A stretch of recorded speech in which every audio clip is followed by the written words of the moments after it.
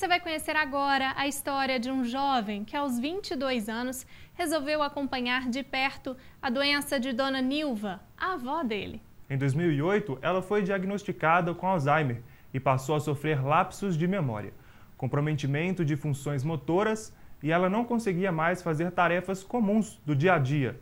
Não reconhecia mais ninguém. Toda essa história está na obra Quem? Eu? Uma avó, um neto, uma lição de vida. No dia do lançamento do livro em BH, Ana Júlia Goulart bateu um papo com o autor. Confira. Hum, te amo. É. Oh, oh. Beijo hum, Te amo. Também te amo. A história desse neto que largou faculdade, emprego, amigos e até festas para cuidar da avó com Alzheimer fez tanto sucesso nas redes sociais que virou até livro. Fernando, como que foi esse processo? É, na verdade, é, eu até digo, eu não larguei nada, né? eu, eu trouxe ela para viver comigo, eu não larguei minha vida, eu continuei vivendo, só que eu trouxe ela para viver uma aventura comigo. E foi fantástico, na verdade, eu tirei as maiores lições da minha vida, eu acho, nessa, nesse aprendi esses aprendizados que eu, acabei obtendo nesse um ano em que eu virei pai da minha avó. Mas foi tudo acontecendo, nada foi programado. Eu tranquei a faculdade, acabei largando a empresa, virei pai da minha avó, como eu digo.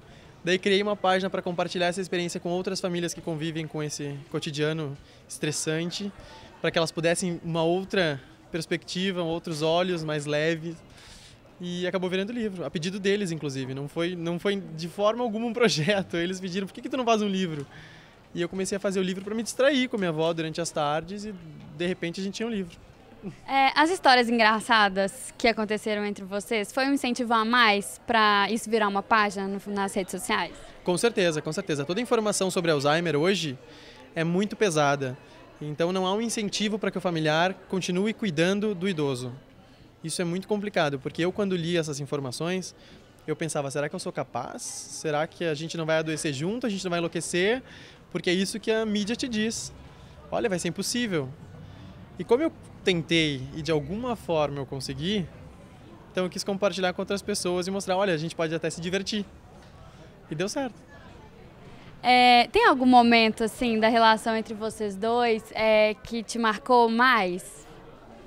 Vários Vários. Uh, um deles uh, é quando ela esqueceu de mim pela primeira vez. Né? E ela perguntou: Eu tenho netos? Eu disse: Tem, vó, eu sou teu neto. Mas eu disse com uma cara tão triste, tão decepcionado, que ela entendeu. Ela sentou do meu lado e disse: A avó não lembra de ti, mas ela sabe que te ama muito. Então, é, e pra mim isso basta.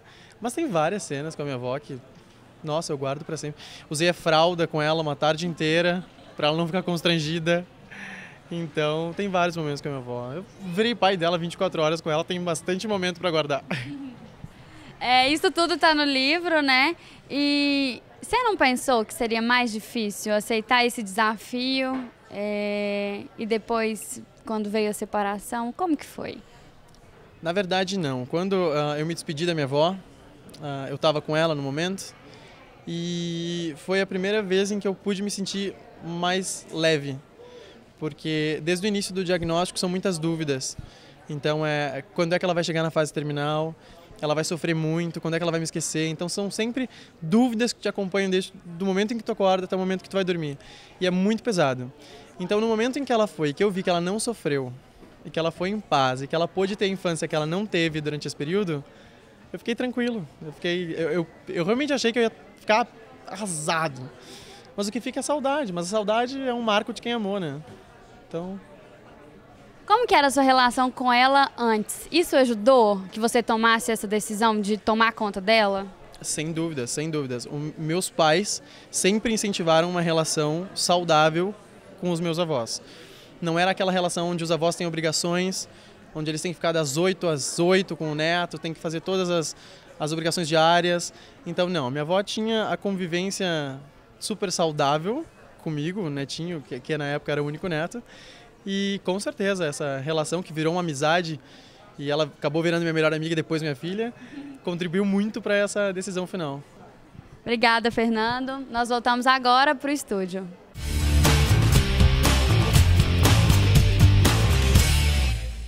recente criação do grupo Corpo Tris volta a Belo Horizonte com trilha sonora de Lenine. Dessa vez, Tris terá como companhia a apresentação Um Cotô, de 2005, que tem trilha sonora especial composta por Caetano Veloso e José Miguel Wisnik. Rodrigo Pederneiras é quem assina toda a coreografia do espetáculo.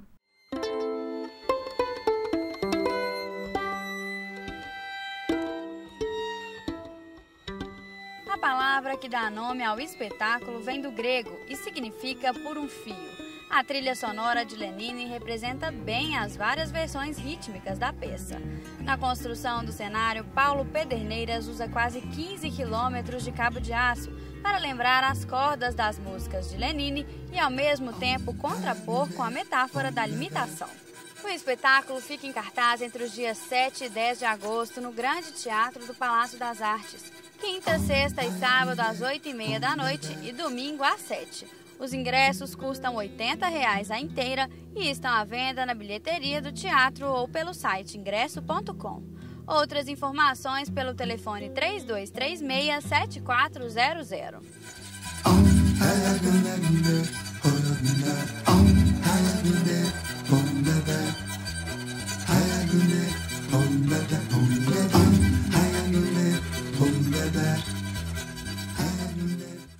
Cantora de infinitos sons, voz potente e uma arte admirável, Cássia Eller é tema de um musical que chega a BH.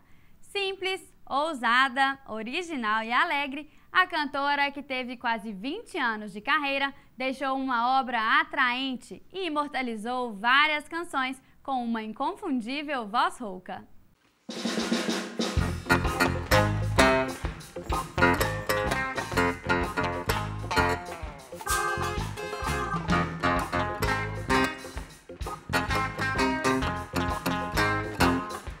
Direção de João Fonseca e Vinícius Armeira e texto de Patrícia Andrade, Cássia Heller, o musical é diferente dos outros espetáculos biográficos porque foca na essência da cantora, deixando a vida e obra dela em segundo plano. Tacide Campos é quem dá a vida a Cássia. A atriz e cantora de Curitiba concorreu com outras mil pessoas até ganhar o papel. A semelhança entre a personagem e a intérprete ganha os espectadores e dá ainda mais encanto ao texto da obra.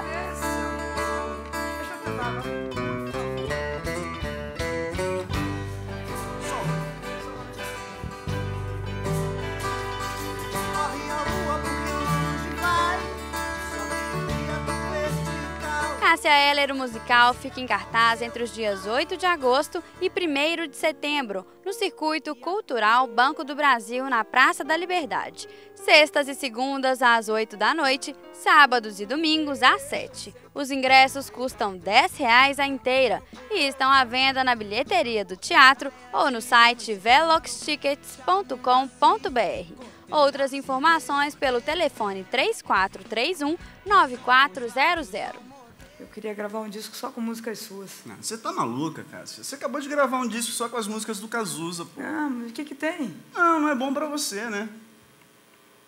Então, então me produz. Hum, aí pode ser. Mas me dê um tempinho para pensar. Você volta amanhã? Volto todo dia. Pra sempre. Todo dia.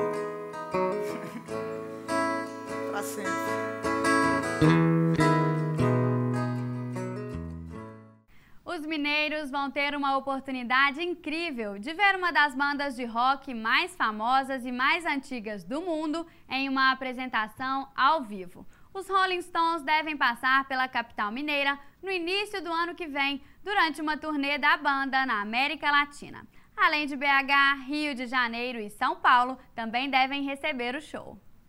Ao lado dos Beatles, The Rolling Stones foi considerada uma das bandas mais importantes da chamada invasão britânica na década de 60. O grupo tem 50 anos de carreira e já vendeu mais de 240 milhões de álbuns no entorno do mundo. A data do show ainda não foi divulgada, mas fique ligado.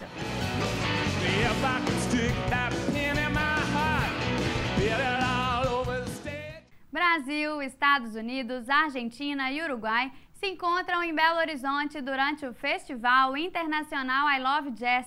Um dos mais importantes eventos dedicados ao ritmo acontece na Praça do Papa e traz renomados nomes para a capital mineira.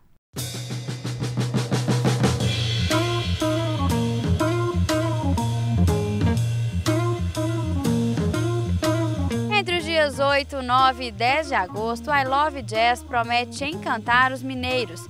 Entre as atrações de destaque estão os saxofonistas Scott Hamilton e Harry Allen, que fazem uma apresentação inédita e sobem juntos no palco para um dueto. Também se apresentam em Belo Horizonte Maria Noel Taranto, cantora uruguaia, e a brasileira Tarim.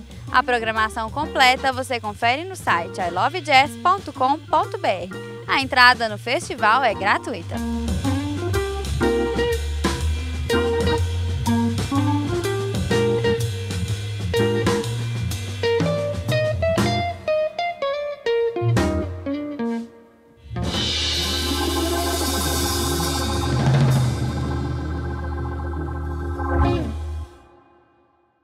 Com sede em Milão, a companhia atlética Cataclô faz apresentação única em Belo Horizonte. Em cartaz com o espetáculo Puzzle, o grupo é pioneiro na união do esporte à dança desde 1995.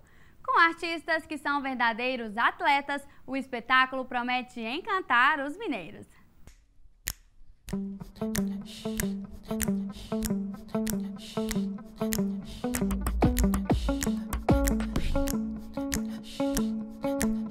Cataclô significa eu danço me contorcendo. A expressão grega causa estranheza inicialmente, mas representa bem o que o grupo faz. A vocação atlética dos bailarinos ajuda a mostrar o domínio, rigor e precisão que eles têm sobre o corpo. O espetáculo Puzzle marca a carreira da companhia que está prestes a completar 20 anos. O show tem apresentação única no dia 7 de agosto no Sesc Paládio, que fica na rua Rio de Janeiro, número 1046, no centro da capital. Os ingressos custam 100, 70 ou 40 reais, dependendo do setor. O espetáculo é às 8 da noite. Outras informações 3214 5350.